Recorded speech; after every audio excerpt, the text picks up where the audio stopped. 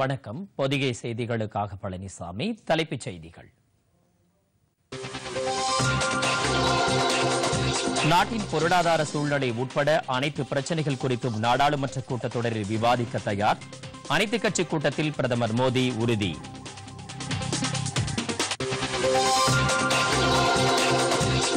தேசப்பிதா மகாத்மா காந்தியின் நினைவு நாளை முன்னிட்டு தலைவர்கள் மரியாதை சென்னையில் முதலமைச்சர் தலைமையில் தீண்டாமை ஒழிப்பு உறுதிமொழி ஏற்பு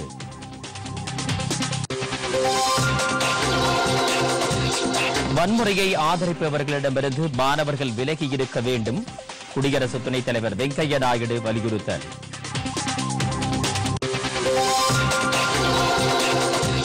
சீனாவிலிருந்து தாயகம் திரும்பிய கேரள பெண்ணுக்கு கொரோனா வைரஸ் பாதிப்பு இருப்பது உறுதியானது நாடு முழுவதும் நோய் தடுப்பு நடவடிக்கைகள் தீவிரம்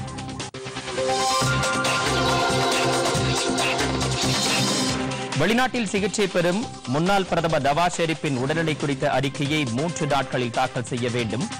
பாகிஸ்தான் பஞ்சாப் மாகாண அரசு உத்தரவு ஆஸ்திரேலிய ஓபன் டென்னிஸ் ரோஜர் பெடரரை வீழ்த்தி ஜோகோவிச் இறுதிச் சுற்றுக்கு முன்னேற்றம் விரிவான செய்திகள் நாட்டின் பொருளாதார சூழ்நிலை குறித்து நாளை தொடங்கும் நாடாளுமன்ற பட்ஜெட் கூட்டத்தொடரில் முழுமையாக விவாதிக்க அரசு தயாராக இருப்பதாக பிரதமர் நரேந்திர மோடி கூறியுள்ளார் நாடாளுமன்ற பட்ஜெட் கூட்டத்தொடரை நாளை தொடங்கவிருக்கும் நிலையில் அதனை சுமூகமாக நடத்துவது குறித்து தில்லியில் இன்று அனைத்துக் கட்சி கூட்டம் நடத்தப்பட்டது பிரதமர் மோடி மற்றும் நாடாளுமன்ற விவகாரத்துறை அமைச்சர் பிரகலாத் ஜோஷி மத்திய அமைச்சர் ராஜ்நாத் சிங் உள்ளிட்ட பலர் இதில் கலந்து கொண்டனர் அப்போது பேசிய எதிர்க்கட்சி உறுப்பினர்கள் பலரும் உலகளாவிய பொருளாதார பின்னடைவு சூழ்நிலை பற்றியும் இந்திய பொருளாதார நிலைமை குறித்தும் நடப்பு கூட்டத்தொடரில் விவாதிக்க வேண்டும் என்று வலியுறுத்தினர் அவை ஏற்றுக்கொள்வதாகவும் அவர்கள் மத்தியில் உறுதியளித்த பிரதமர் உலகளாவிய பொருளாதார பின்னடைவு இந்தியா எப்படி சாதகமாக்கி வளர்ச்சிப் பாதையில் செல்கிறது என்பதை தமது அரசு உறுப்பினர்களுக்கு விளக்கமாக சொல்ல கடமைப்பட்டிருக்கிறது என்றார் இதுபோன்ற ஆரோக்கியமான விவாதங்களை நடத்த வேண்டும் என்று எதிர்க்கட்சிகள் விடுக்கும் கோரிக்கையை தாம் எப்போதும் வரவேற்பதாக கூறிய பிரதமர் பொருளாதாரம் மட்டுமல்ல நாட்டின் அத்தனை பிரச்சனைகள் பற்றியும் வரும் கூட்டத்தொடரில் விரிவாக விவாதிக்கலாம் என்றும் பிரதமர் குறிப்பிட்டார் இந்த பட்ஜெட் கூட்டத்தொடர் இந்த ஆண்டின் முதல் கூட்டத்தொடர் என்றும் புத்தாண்டில் நாட்டின் பொருளாதாரத்தை சரியான பாதைக்கு அழைத்துச் செல்ல இந்த கூட்டத்தொடரில் ஆரோக்கியமான விவாதத்தை நடத்துவோம் என்றும் அவர் அழைப்பு விடுத்தாா் எந்த ஒரு பிரச்சனையுமே விரிவாக பேசினால்தான் தீர்வு கிடைக்கும் என்பதால் அத்தனை பிரச்சனைகளையும் நாடாளுமன்றத்தில் விவாதிக்கலாம் என்றும் பிரதமர் உறுதியளித்த அதே நேரத்தில் இந்த கூட்டத்தொடரை பயனுள்ள வகையில் நடத்திட எதிர்க்கட்சிகளும் ஒத்துழைக்க வேண்டும் என்று கேட்டுக் கொண்டார் பிரதமர் இவ்வாறு கூறியதாக நாடாளுமன்ற விவகாரத்துறை அமைச்சர் பிரகலாத் ஜோஷி பின்னர் செய்தியாளர்களிடம் தெரிவித்தாா் அசாமில் வரலாற்று சிறப்புமிக்க போடோ உடன்படிக்கை வன்முறைக்கு தீர்வு காணும் சிறப்பான முடிவு என்று பிரதமர் நரேந்திர மோடி கூறியுள்ளார் அசாமில் தனி மாநிலம் கோரி போராட்டம் நடத்தி வந்த போடோ அமைப்பினர் அரசுடன் நடத்திய பேச்சுவார்த்தையில் சுமூக முடிவு ஏற்பட்டதை அடுத்து போடோ மேம்பாட்டு ஒப்பந்தத்தை ஏற்று தேசிய நீரோட்டத்தில் இணைந்துள்ளனர் அந்த மாநில அரசு எடுத்த பெரும் முயற்சியின் காரணமாக இந்த முடிவு எடுக்கப்பட்டுள்ளது போடோ கிளர்ச்சியாளர்களால் ஏற்பட்ட வன்முறைகளில் ஆயிரக்கணக்கானோர் கொல்லப்பட்டுள்ள நிலையில் தற்போது அந்த பிரச்சினைக்கு அமைதியான தீர்வு ஏற்பட்டுள்ளது இதுகுறித்து பிரதமர் நரேந்திர மோடி மகிழ்ச்சி தெரிவித்துள்ளார் வன்முறையை கைவிட்டு ஜனநாயகத்தின் மீது அரசியல் சட்டத்தின் மீதும் நம்பிக்கை வைத்தால் நிச்சயம் எந்த பிரச்சினைக்கும் தீர்வு கிடைக்கும் என்பதற்கு இந்த போடோ ஒப்பந்தம் ஒரு நல் உதாரணம் என்றும் பிரதமர் குறிப்பிட்டுள்ளார் அசாமில் ஐம்பது ஆண்டுகளுக்கு பிறகு அமைதி ஏற்படுவதற்கான ஒரு புதிய தொடக்கம் உருவாகியுள்ளதாக கூறிய பிரதமர் போடோ பகுதி மேம்பாட்டிற்காக ஆயிரத்தி ஐநூறு கோடி ரூபாய் திட்டத்தை அரசு செயல்படுத்த உள்ளதாகவும் கூறினார் இந்த திட்டத்தின் மூலம் போடோ பகுதி மக்களின் மேம்பாட்டிற்கு அரசு நிச்சயம் நல்ல நடவடிக்கைகள் எடுக்க முடியும் என்று கூறியுள்ள பிரதமர் போடோ மக்கள் அரசின் மீது நம்பிக்கை வைத்து முழு ஒத்துழைப்பு தர வேண்டும் என்றும் கேட்டுக் கொண்டுள்ளார் நாட்டின் விடுதலைக்காக தங்கள் இன்னுயிரை நீத்த விடுதலை போராட்ட தியாகிகளுக்கு அஞ்சலி செலுத்தும் தியாகிகள் தினம் இன்று அனுசரிக்கப்பட்டது மகாத்மா காந்தி மறைந்த இந்த நாளில் அவருக்கும் தியாகிகளுக்கும் அஞ்சலி செலுத்தப்பட்டது மகாத்மா காந்தியின் நினைவிடமான ராஜ்காட்டில் குடியரசுத் தலைவர் ராம்நாத் கோவிந்த் குடியரசு துணைத் தலைவர் வெங்கையா நாயுடு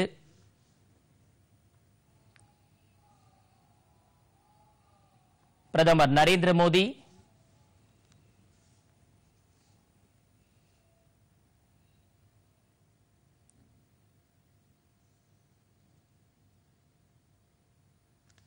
பாதுகாப்பு அமைச்சர் ராஜ்நாத் சிங் முப்படைகளின் தலைமை தளபதி பிபின் ராவத் பிஜேபி மூத்த தலைவர் எல் கே அத்வானி உள்ளிட்டோர் மலரஞ்சலி செலுத்தினர்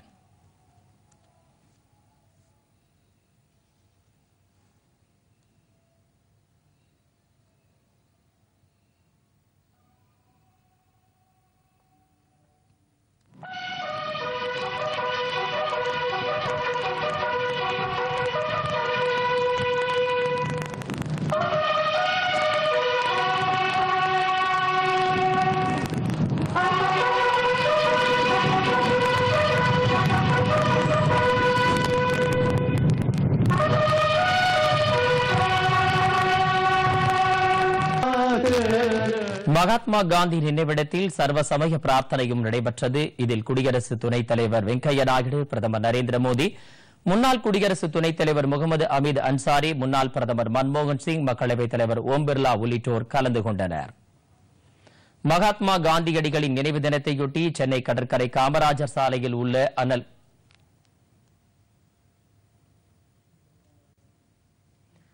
சென்னை கடற்கரை காமராஜர் சாலையில் உள்ள அண்ணல் காந்தியடிகளின் சிலையின் கீழ் வைக்கப்பட்டிருந்த அவரது உருவப்படத்திற்கு தமிழக ஆளுநர் பன்வாரிலால் புரோஹித் முதலமைச்சர் எடப்பாடி பழனிசாமி துணை முதலமைச்சர் ஓ பன்னீர்செல்வம் மற்றும் அமைச்சர்கள் உள்ளிட்ட முக்கிய பிரமுகர்கள் மலர்தூவி மரியாதை செலுத்தினர் மகாத்மா காந்தியடிகளின் எழுபத்தி இரண்டாவது நினைவு தினத்தையொட்டி சென்னை தலைமைச் செயலகத்தில் உள்ள ராணுவ பயிற்சி மைதானத்தில் தீண்டாமை ஒழிப்பு உறுதிமொழி ஏற்கப்பட்டது தமிழக முதலமைச்சர் எடப்பாடி பழனிசாமி உறுதிமொழியை செய்து வைத்தாா் துணை முதலமைச்சர் ஓ பன்னீர்செல்வம் உள்ளிட்ட அமைச்சர்கள் மற்றும் தலைமைச் செயலக ஊழியர்கள் பங்கேற்றனர் புதுச்சேரியில் கடற்கரை சாலையில் உள்ள மகாத்மாவின் சிலைக்கு ஆளுநர் கிரண்பேடி முதலமைச்சர் நாராயணசாமி மற்றும் அமைச்சர்கள் அதிகாரிகள் மாலை அணிவித்து மரியாதை செலுத்தினர் காங்கிரஸ் கட்சி தலைமை அலுவலகத்தில் நடைபெற்ற நிகழ்ச்சியில் முதலமைச்சர் நாராயணசாமி காந்தியடிகள் உருவப்படத்திற்கு மரியாதை செலுத்தினாா் வன்முறையை ஆதரிப்பவர்களிடமிருந்து மாணவர்கள் விலகியிருக்க வேண்டும் என்று குடியரசு துணைத் தலைவர் வெங்கையா நாயுடு வேண்டுகோள் விடுத்துள்ளார் குடியரசு தின அணிவகுப்பில் பங்கேற்ற நாட்டு நலப்பணி திட்ட தன்னார்வலர்களுடன் தனது இல்லத்தில் குடியரசு துணைத் தலைவர் வெங்கையா நாயுடு கலந்தாய்வு செய்தார் அப்போது பேசிய அவர் இந்தியாவில் சில சக்திகள் பதற்றத்தையும் வன்முறையையும் உருவாக்க முயற்சித்து வருவதாக கூறினார் தேச நலனுக்கு எதிரான இந்த சக்திகளிடமிருந்து மாணவர்கள் சற்று விலகி இருப்பதோடு எச்சரிக்கையாகவும் இருக்க வேண்டும் என்று கேட்டுக் கொண்டாா் அவர்கள் தூண்டிவிடும் வன்முறைக்கு இலக்கானால் தேசத்தின் சொத்துக்கள் சேதமடைவது மட்டுமல்ல மாணவர்களின் எதிர்காலமும் நாசமாகிவிடும் என்றும் எச்சரித்தார் ஜனநாயகத்தில் வன்முறைக்கு ஒருபோதும் இடமில்லை என்று கூறிய அவர்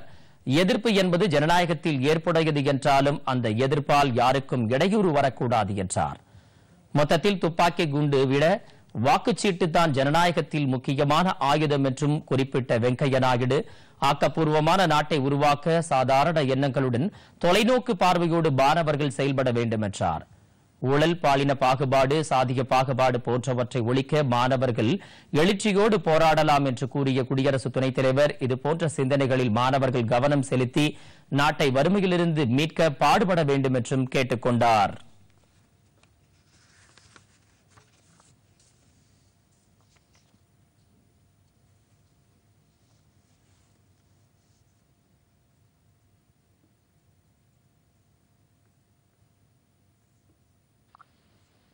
and I really feel very happy whenever I meet uh, youngsters because you are the future of the nation. And when I see confidence and smile on your face, I become more confident about the future of the nation. I'm happy that all the youth volunteers who opt to serve the nation through the NSS Red community service, wear the NSS badge with pride and a sense of responsibility towards helping the needy. By participating in voluntary service activities such as NSS, you are trying to realize the ideas of Mahatma Gandhi, who had said, the best way to find oneself is to lose oneself in the service of others. This is what Gandhiji has said. I am aware that all of you are here today to participate in the NSS Republic Day Parade Camp. I hope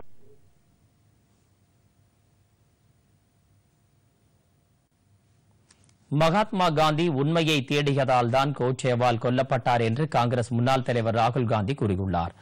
குடியுரிமை திருத்த சட்டத்திற்கு எதிராக கேரள மாநிலம் வயநாடு தொகுதிக்கு உட்பட்ட கல்லப்பட்டாவில் இன்று நடைபெற்ற பேரணியில் பங்கேற்று பேசிய அவர் எழுபத்தி இரண்டு ஆண்டுகளுக்கு முன் இதே நாளில் தேசப்பிதா மகாத்மா காந்தி கொல்லப்பட்டதை நினைவு கூர்ந்தார் நாட்டுக்காக உழைத்த அவர் இன்று நம்மிடையே இல்லை என்று உருக்கமாக கூறிய அவர் வெறுப்பு அரசியல்தான் அவரது உயிரை பறித்தது என்றும் சுட்டிக்காட்டினார் தற்போது இதே பாணியில்தான் சில அரசியல் தலைவர்கள் உள்ளதாகவும் அவர் குற்றம் சாட்டினார் இதற்கிடையே தில்லியில் குடியுரிமை திருத்த சட்டத்திற்கு எதிராக தடையை மீறி போராட்டம் நடத்திய இந்திய கம்யூனிஸ்ட் தேசிய செயலர் டி ராஜா மற்றும் விநாயக் விஸ்வம் உள்ளிட்டோர் கைது செய்யப்பட்டனர் சிறிய இடைவெளிக்கு பிறகு செய்திகள் தொடரும் உங்கள் நேரத்தை வீணடிக்காத நடுநிலை தவறாத புதுகை தொலைக்காட்சியின் விரிவான செய்தி அறிக்கைகளை காலை எட்டு மணி பகல் பன்னிரண்டு மணி பிற்பகல் இரண்டு மணி மாலை ஆறு மணி இரவு எட்டு மணி மற்றும் பத்து மணிக்கு யூடியூபில் நேரலையிலும் நீங்கள் பார்க்கலாம் உலகின் எந்த பகுதியிலிருந்தும் உங்கள் கைபேசி கணினி தொலைக்காட்சி வழியாக செய்திகளை உடனுக்குடன் பார்க்க தமிழ் நியூஸ் தூர்தர்ஷன் என்ற யூடியூப் பக்கத்திற்கு சென்று சப்ஸ்கிரைப் செய்து கொள்ளுங்கள்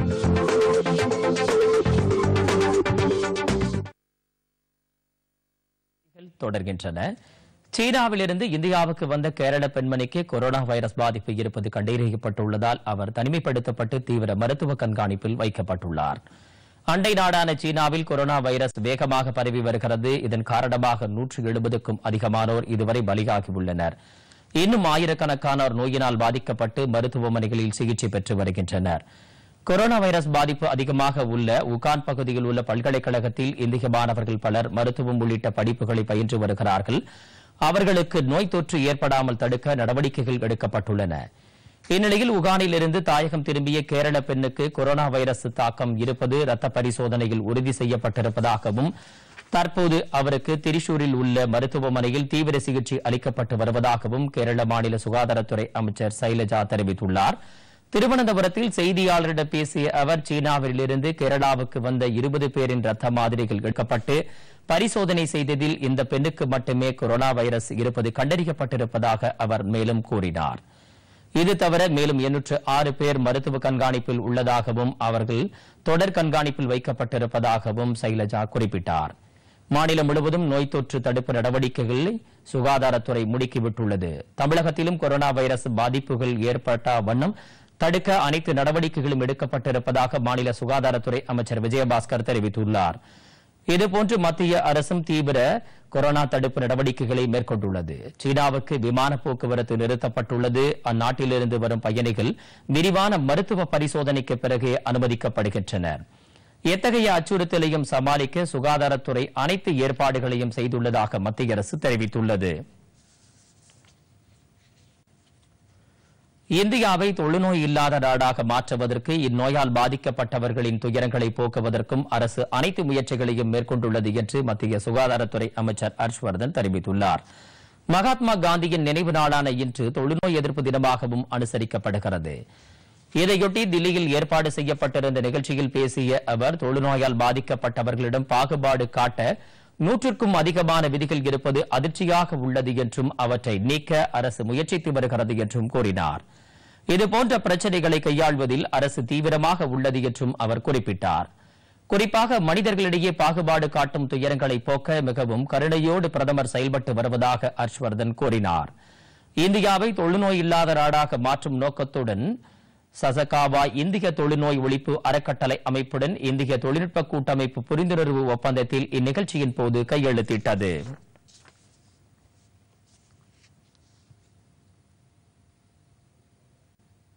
குடியுரிமை திருத்த சட்டத்திற்கு எதிராக ஐரோப்பிய ஒன்றிய நாடாளுமன்றத்தில் உறுப்பினர்கள் கூறிய கருத்துக்கள் அதிகாரப்பூர்வமானது அல்ல என்று மத்திய அரசு தெளிவுபடுத்தியுள்ளது இதுகுறித்து தில்லியில் செய்தியாளரிடம் பேசிய வெளியுறவுத்துறை செய்தித் தொடர்பாளர் ரவீஷ்குமார் ஐரோப்பிய ஒன்றிய உறுப்பினர்கள் தனிப்பட்ட முறையில் கூறிய கருத்துக்களை அந்த ஒன்றியத்தின் தீர்மானமாக எடுத்துக் கொள்ள முடியாது என்று கூறினார் சிஏஏவுக்கு எதிராக ஐரோப்பிய ஒன்றிய நாடாளுமன்றத்தில் எந்த தீர்மானமும் கொண்டு வரப்படவில்லை என்றும் அதற்கான எண்ணமும் இல்லை என்றும் தங்களுக்கு தகவல் கிடைத்திருப்பதாக அவர் மேலும் தெரிவித்தார் சில உறுப்பினர்கள் குடியுரிமை திருத்தச் சட்டத்திற்கு எதிராக கூறிய கருத்துகள் அவர்களது சொந்த கருத்துகள் என்று ஐரோப்பிய ஒன்றிய ஆணையர் தங்களிடம் தெரிவித்திருப்பதாகவும் ரவீஷ்குமார் மேலும் கூறினாா் தமிழகத்தின் பல்வேறு மாவட்டங்களில் சுமார் நூற்று முப்பது கோடி ரூபாய் மதிப்பில் கட்டப்பட்டுள்ள கட்டிடங்களை முதலமைச்சர் எடப்பாடி பழனிசாமி இன்று தலைமைச் செயலகத்தில் காணொலி காட்சி மூலம் திறந்து வைத்தார் சேலம் பெரியார் பல்கலைக்கழகம் காரைக்குடி அழகப்பா பல்கலைக்கழகம் கோயம்புத்தூர் பாரதியார் பல்கலைக்கழகம் ஆகியவற்றில் சுமார் தொன்னூறு கோடி ரூபாய் மதிப்பில் கட்டப்பட்ட கட்டிடங்களும் இவற்றில் அடங்கும் திண்டுக்கல் அரசு மாவட்ட தலைமை மருத்துவமனையில் பதினெட்டு கோடி ரூபாய் செலவில் கட்டப்பட்டுள்ள மகப்பேறு மற்றும் குழந்தைகள் நல சிறப்பு மையத்தையும் சுமார் இருபது கோடி ரூபாய் செலவில் கட்டப்பட்டுள்ள கட்டிடங்களையும் முதலமைச்சர் இன்று திறந்து வைத்தார் தஞ்சாவூர் மதுரை அரசு மருத்துவக் கல்லூரிகளில் கட்டப்பட்டுள்ள புதிய கட்டிடங்களும் இன்று திறந்து வைக்கப்பட்டன சென்னை ராணிமேரி கல்லூரியில் நான்கு கோடி ரூபாய் செலவில் கட்டப்பட்டுள்ள கூடுதல் வகுப்பறைகளையும் சைதாப்பேட்டையில் உள்ள தமிழ்நாடு திறந்தநிலை பல்கலைக்கழகத்தில் இருபத்தி மூன்று கோடி ரூபாய் மதிப்பிலான கட்டிடங்களையும் முதலமைச்சர் திறந்து வைத்தாா்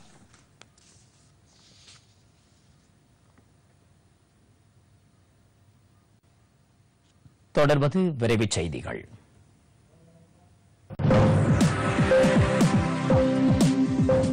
திருவண்ணாமலை மாவட்டம் சாத்தனூர் அணையில் இருந்து பாசனத்திற்காக தண்ணீர் திறந்துவிட முதலமைச்சர் எடப்பாடி பழனிசாமி உத்தரவிட்டுள்ளார் இதுகுறித்து அவர் வெளியிட்டுள்ள அறிக்கையில் இந்த நடவடிக்கையின் மூலம் அந்த பகுதியில் சுமார் ஏழாயிரத்தி ஐநூறு ஏக்கர் விவசாய நிலங்கள் பயனடையும் என்றும் இடது மற்றும் வலதுபுற கால்வாய்களில் இருந்து மொத்தம் எழுநூற்று ஐம்பத்தி ஆறு மில்லியன் கனஅடி தண்ணீர் தொடர்ச்சியாக முப்பத்தி ஐந்து நாட்களுக்கு திறந்துவிடப்படும் என்றும் தெரிவிக்கப்பட்டது இதேபோல் திருக்கோவிலூர் அணையிலிருந்து ஆயிரத்தி இருநூறு மில்லியன் கன அடி நீரினை விவசாய தேவைக்கு ஏற்ப திறந்துவிடவும் முதலமைச்சர் உத்தரவிட்டுள்ளார் அடுத்த ஆண்டு பள்ளிகள் திறந்து பதினைந்து நாட்களுக்குள் அனைத்து மாணவர்களுக்கும் ஷூ சாக்ஸ் வழங்கப்படும் என மாநில பள்ளிக்கல்வித்துறை அமைச்சர் செங்கோட்டையன் தெரிவித்துள்ளாா் ஈரோடு மாவட்டம் இடையன்காட்டு வலசு அரசு பள்ளியில் இருபது லட்சம் ரூபாய் மதிப்பில் அமைக்கப்பட்டுள்ள அடல் திறன் மேம்பாட்டு ஆய்வகத்தை இன்று அவர் திறந்து வைத்தார் நிகழ்ச்சியில் பேசிய அவர் ஐசிடி எனப்படும் தகவல் தொடர்பு தொழில்நுட்பத்தை ஆயிரத்தி இருபத்தி மூன்று இடங்களில் செயல்படுத்த திட்டமிட்டுள்ளதாக அவர் தெரிவித்தாா்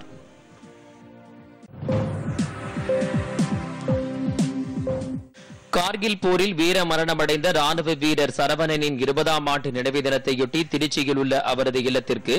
திமுக தலைவர் மு ஸ்டாலின் நேரில் சென்று மரியாதை செலுத்தினார் இந்த நிகழ்வின் போது சட்டப்பேரவை உறுப்பினர்கள் கே என் நேரு அன்பில் மகேஷ் பொய்யாமொழி உள்ளிட்டோர் உடனிருந்தனர் ஆயிரத்தி தொள்ளாயிரத்தி தொன்னூற்றி ஒன்பதாம் ஆண்டு இந்தியா மற்றும் பாகிஸ்தான் நாடுகளுக்கு இடையே நடைபெற்ற கார்கில் போரில் மேஜர் சரவணம் வீரமரணமடைந்தது குறிப்பிடத்தக்கது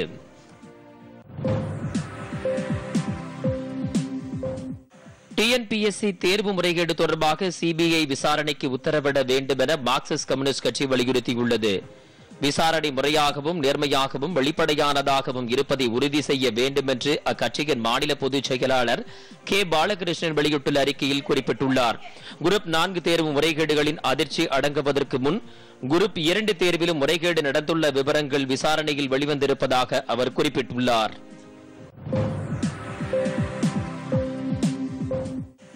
தருமபுரி மொரப்பூர் ரயில் பாதை இணைப்பு திட்டப் பணிகள் மிக விரைவில் தொடங்கும் என தருமபுரி மக்களவை உறுப்பினர் செந்தில்குமார் கூறியுள்ளார் தருமபுரி மாவட்ட ஊரக முகமை அலுவலகத்தில் மாவட்ட கண்காணிப்பு குழு கூட்டம் இன்று நடைபெற்றது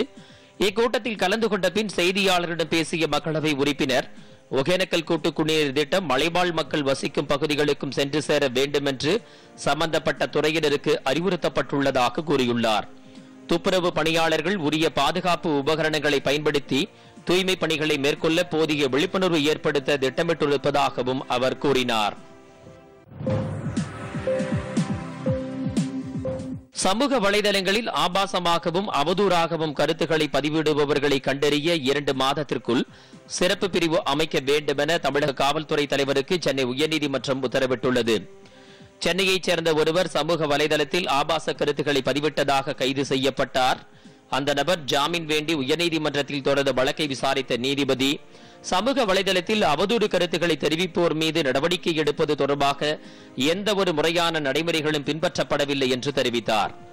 ஆபாச கருத்துக்கள் பதிவிடுவதை தவிர்க்க இரண்டு மாத காலத்திற்குள் சிறப்பு பிரிவு அமைக்கப்பட வேண்டும் என்று உத்தரவிட்ட நீதிபதி இந்த பிரிவு நியமிக்கப்படுவோருக்கு சிறப்பு பயிற்சி வழங்க வேண்டும் என்றும் தெரிவித்தார் காஞ்சிபுரம் மாவட்டத்தில் மாற்றுத்திறனாளிகளுக்கான தடகளம் மற்றும் குழு விளையாட்டுப் போட்டிகள் இன்று தொடங்கியது தமிழ்நாடு விளையாட்டு மேம்பாட்டு ஆணையத்தின் சார்பில் பேரறிஞர் அண்ணா விளையாட்டு அரங்கத்தில் நடைபெறும் இந்த போட்டிகளை மாவட்ட ஆட்சியர் பா பொன்னையா தொடங்கி வைத்தார் ஐம்பது மீட்டர் ஓட்டம் நூறு மீட்டர் ஓட்டம் குண்டு எறிதல் உள்ளிட்ட போட்டிகள் நடைபெறுகின்றன காது கேளாதவர்களுக்கு என நீளம் தாண்டுதல் ஈட்டு எறிதல் ஆகிய போட்டிகளும் கபடி டேபிள் டென்னிஸ் உள்ளிட்ட குழு போட்டிகளும் நடைபெறுகின்றன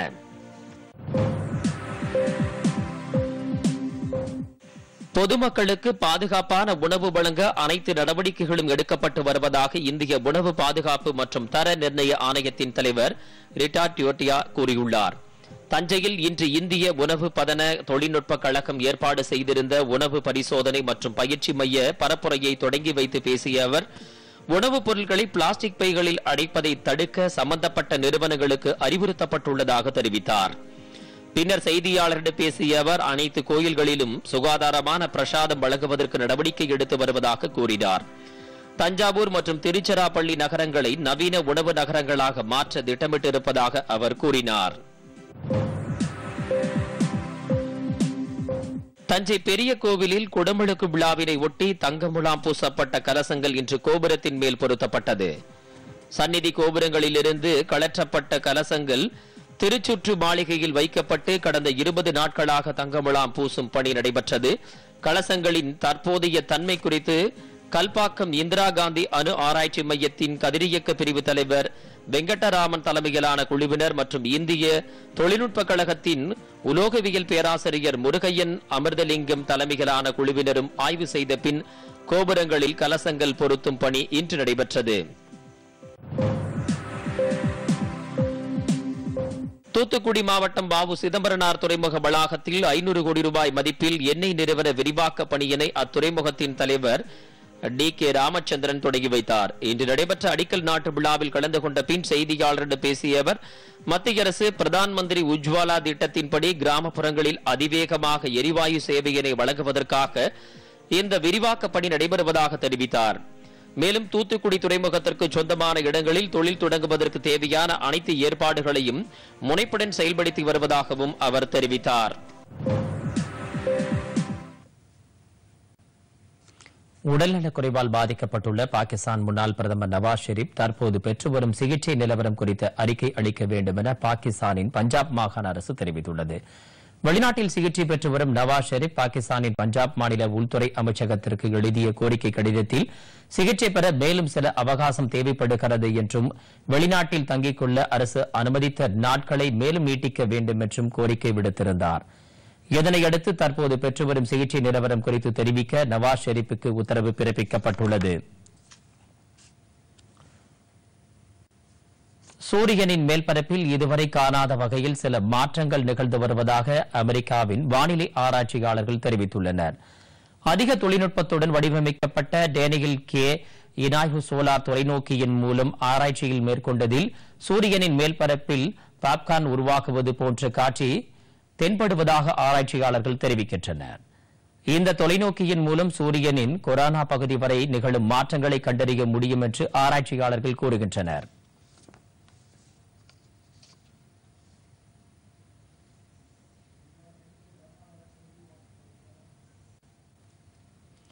இனி வருவது விளையாட்டுச் செய்திகள்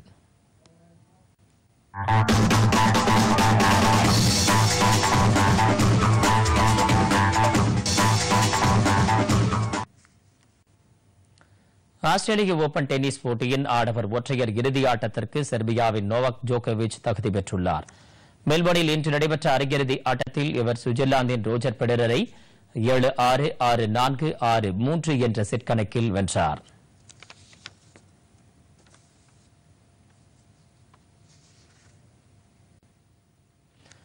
ஜிப்ரால்டரில் நடைபெற்று வரும் சர்வதேச செஸ் போட்டியில் இந்திய வீரர் பிரக்ஞானந்தாவுக்கும் ரஷ்யாவின் மிக்கைல் கோபிலாவுக்கும் இடையே இன்று நடைபெற்ற ஒன்பதாவது சுற்று ஆட்டம் டிராவில் முடிவடைந்தது இந்த தொடரில் வாங்கோவ் டேவிட் பிரயான் பிரகாக் மகோ ஸ்டுடியோ முஸ்டப் ஆ மற்றும் ஆண்ட்ரி ஆகியோர் ஏழு புள்ளிகளுடன் முதலிடத்தில் உள்ளனர் இந்திய வீரர்கள் பிரக்ஞானந்தா அதிபன் கார்த்திகேயன் முரளி ஆரியன் சோப்ரா ஆகியோர் ஆறு புள்ளிகளுடன் இரண்டாவது இடத்தில் உள்ளனர்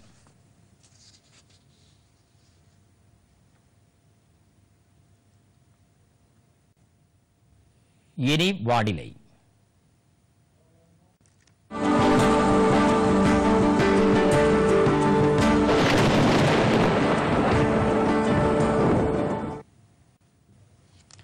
தமிழகம் மற்றும் புதுச்சேரியில் அடுத்த இருபத்தி நான்கு மணி நேரத்திற்கு வறண்ட வானிலையே நிலவும் என்று சென்னை வானிலை ஆய்வு மையம் தெரிவித்துள்ளது சென்னையிலும் அதன் சுற்று வட்டாரங்களிலும் வானம் தெளிவாக இருக்கும் என்றும் சில பகுதிகளில் அதிகாலை நேரங்களில் பனிமூட்டம் காணப்படும் என்றும் தெரிவிக்கப்பட்டுள்ளது நகரின் அதிகபட்ச வெப்பநிலை முப்பத்தி இரண்டு டிகிரியாகவும் குறைந்தபட்ச வெப்பநிலை இருபத்தி இரண்டு டிகிரி செல்சியஸாகவும் இருக்கும் என்றும் அந்த அறிக்கை தெரிவிக்கிறது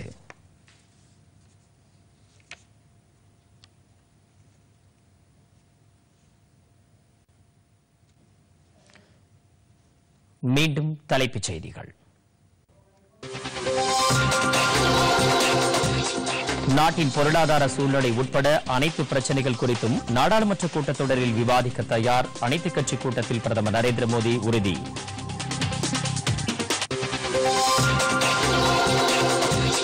தேசப்பிதா மகாத்மா காந்தியின் நினைவு நாளை முன்னிட்டு தலைவர்கள் மரியாதை சென்னையில் முதலமைச்சர் தலைமையில் தீண்டாமை ஒழிப்பு உறுதிமொழி ஏற்பு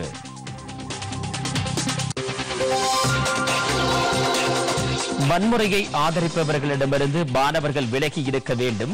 குடியரசு துணைத் தலைவர் வெங்கையா நாயுடு வலியுறுத்தல்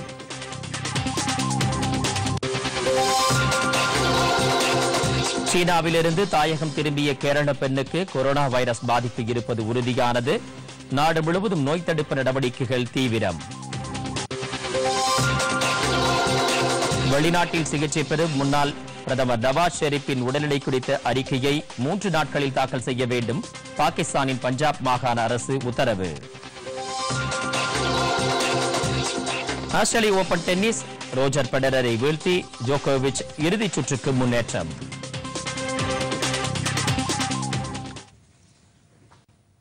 பொதிகை செய்திகளை யூடியூப்பில் தமிழ் நியூஸ் தூர்தர்ஷன் என்ற சேனலிலும் ட்விட்டரில் Tamil news Doordarshan at DD news Chennai என்ற பக்கத்திலும் காணலாம்